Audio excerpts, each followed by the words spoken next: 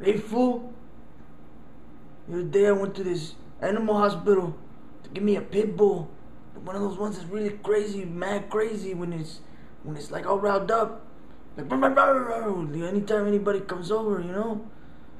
And then I was there, I was like, hey, that little thing is cute. What is it? And they were like, it's a kitty. I was like, oh, a little kitty. I got this little motherfucker right here. He's so cute. He opened his mouth when I kissed him. Love you. I love you. I wish they could talk, fool, because then he tell me he loves me. Like I love him.